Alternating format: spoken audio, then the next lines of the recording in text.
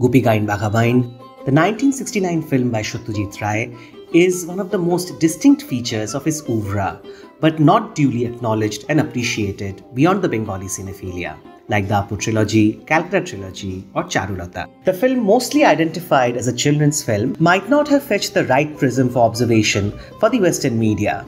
As we learn, likes of critic Dennis Schwartz say that the only fault of the film is that it was too lengthy to hold the attention of children. But the appealing film dazzles with Ray's lively score that's carried out very well by the film stars. The Fable of Gupi Bagha is much more than a children's movie. The politics, philosophy, and the subtlety that's better fit for the adults, followed by the necessary communication for children to get themselves in these ideologies in their formative years. Obviously, due to the lack of attention from the West, Gupi Gayen Bagha Bayen is under discussed, still doesn't have a restored print or good enough subtitles, and beyond obvious topics like the ghost dance sequence, the fantastic music of the film, or the overall anti war philosophy, it's a film highly underanalyzed. Today, we try to discuss five striking yet rarely discussed aspects of the film that deserve your attention to realize the beauty of the masterpiece that Gupi Gayen Bagha Bayen is. Before we move, here's once again requesting for your support through likes, shares, and subscriptions. The caste and class politics. The very first scene and the first dialogue of the film is a commentary on the caste politics of native Bengal. Gupi carries his newly acquired Tanpura and shows off to a farmer working in his field. Gupi is innocent inside, but his upbringing in a world of caste politics and social hierarchy thereby makes him feel that the Tanpura has elevated his status in the village. You are a farmer and I am the refined musician, which implies that for a farmer to be also a musician is unheard, uncalled in rural Bengal's social hierarchy. And that's what exactly happens to Gupi as he's tricked by the village elders to be driven out of the village. Yes, his voice and sense of music isn't one to be appreciated at that time, but is he harassed and tricked by the village old men only for that? Maybe not. It's the Brahmins punishing Gupi for overstepping the social hierarchy, for engaging in a vocation supposedly not accessible to the peasant class. When we hear Gupi describing how he had to serve musician Gosai to get the Tanpura, we get this feudal vibe. আমি বললাম যে খুড়ো আমরা গরিব মুদি পয়সা কোথায় পাবো বলো তা বললে কাজ করে দে হ্যাঁ কি কাজ বলো তা বললে তামুক সেটে দে ডালা বলে পা টিপে তো ডালা হ্যাঁ তা বলে যে পাঁচকো থেকে জল তুলে দে ডালা বলে ভাড়ার ঘরে ইঁদুর ঢুকেছে মেরে দে তাও ডালা দিয়ে দিয়ে দিলে আগে হ্যাঁ নিজেরা তো একেবারে কান টান মলে টলে না দিয়ে দিলে দেখুন না এখনও না টন টান করতেছে Gosai makes him do multiple household chores and then pulls his ears in a sense of mockery before handing over the Tanpura. How patronizing is that? The whole episode comes across as a comedy set piece, apart from a final scene where Gupi's father is standing at a distance, wiping his tears as he watches Gupi driven out of the village. The social hierarchy comes back in the most interesting way during the ghost dance sequences as we watch different groups of ghosts who kind of represent the social strata dancing in groups. We also watch the Brahmins and landlords in the same group, and then at the end of the dance sequence, when all four groups are shown together, we watch that group in the bottom of the table. Satyajit Ray subtly suggests that though hierarchies based on birth might be a case in the real world, for the paranormal world, in the world of King of Ghosts, such hierarchies hardly stand. The set design that differentiates Halla and Shundi. This one is more obvious to the eyes. If you watch the courtroom of Halla, the darkness of the atmosphere comes across. The passage is narrow, the windows hardly let you look outside and get sunlight in. You find animal heads or stuffed skin that depicts violence and killings. In contrast, come to the courtroom of Shundi. No, wait. You know what? When the camera talks about Shundi, unlike Halla, it doesn't take you at the palace first. It takes you to the rich fields of Shundi to its people and the market where Hindus and Muslims live together in harmony and there's a vibe of music around. Satyajit Ray beautifully suggests that a happy country is depicted by its people first, and then comes the government, the king who is to serve the people. And then the bright courtroom, distinctly wide, that instantly gives you a positive vibe. Here's there's no stuffed animals but paintings of peacocks and elephants on the walls that represent art instead of violence. And then there's birds, live birds, free pigeons moving around the rooms. Interestingly, the Halla king, when not under the influence of the medicines, also makes a bird through paper cuttings that calls out of his wish to be free. Satyajit Ray was a genius, and you see here how, through intelligent set design, he carries forward the themes of his story.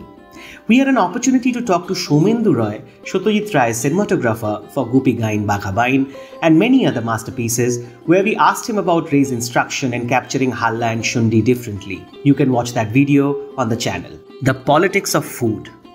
As we mentioned, flourish of a country can be best measured by the happiness quotient of its people.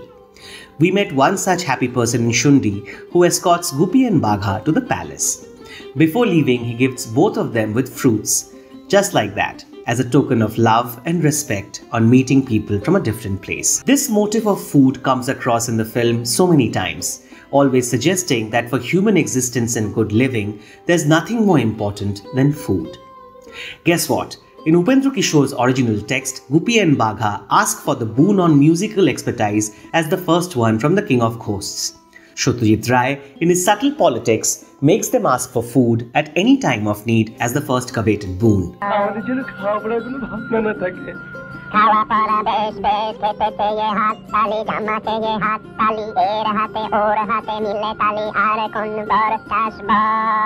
Please let us not worry about food and clothes at any time, says Gupi, holding his hands.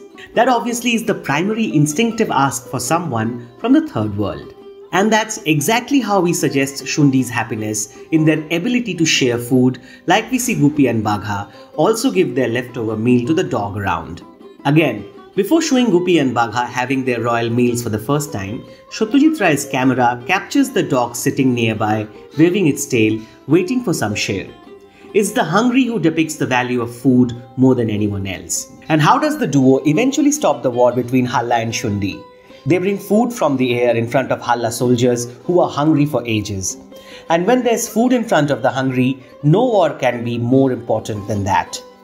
Remember, Gupi Gayen Bagha Bayen was filmed when the Vietnam War was on.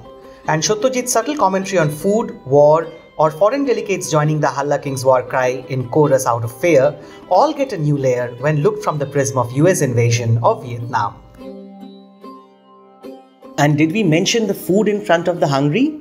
Well, that brings us to the fourth striking aspect of the film the cameo by Nripati Chattopadhyay. What an actor! And how criminally underrated, or rather forgotten in our cinema history. Nripati is the guard of the prison where Gupi and Bagha are put by the Halla minister. We see him following the duo with his eyes, suggesting how their heads would be chopped off, and taunting with his gestures as the minister admonishes them. That itself is a mighty act bereft of dialogues through body language alone. And then comes the classic part that makes it one of the best cameos of all time his urge and craving for the great food Gupi and Bagha are having. Just look at that man behave. It is beyond explanation.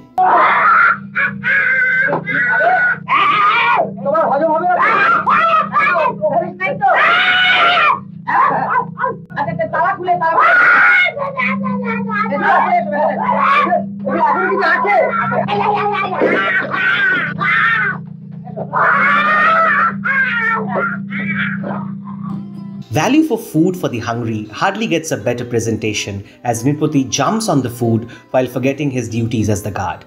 He doesn't even know what to eat and where to start as he tries to swallow everything together in fear that the food might be snatched away anytime soon. The Politics of Food at its best by Satyajit the Genius. The Politics of Music the most interesting one in a film that is musical.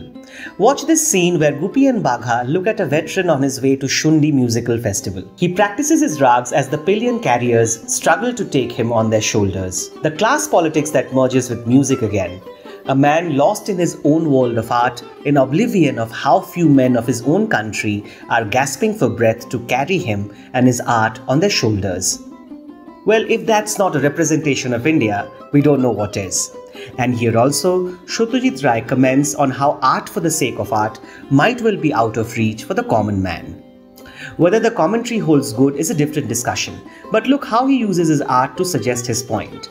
This is also in line of how Gupi Bagha asked for food ahead of arts in their boons, as Satyajit represents his country, his state in his cinema. Look at the discomfort among the distinguished musicians when Gupi and Bagha sit among them in their unsophisticated selves before they win them over with their music. The song that Satyajit builds up to.